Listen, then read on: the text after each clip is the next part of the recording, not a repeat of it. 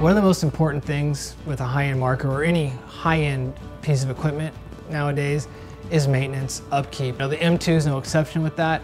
As much as we'd like to make it where it's 100% maintenance free, it, that's impossible. What we can do as a company and as a gun manufacturer is make it as simple as possible. And you know what we've done with the M2 is we've designed into it a quick release toolless bolt kit where it's a single motion, it's just basically a squeeze and pull it's a very simple design, gives you immediate access to the bolt kit where you can perform basic service, basic cleaning, and as soon as you're done, you just drop it right back in, it locks in place, it's quick and easy.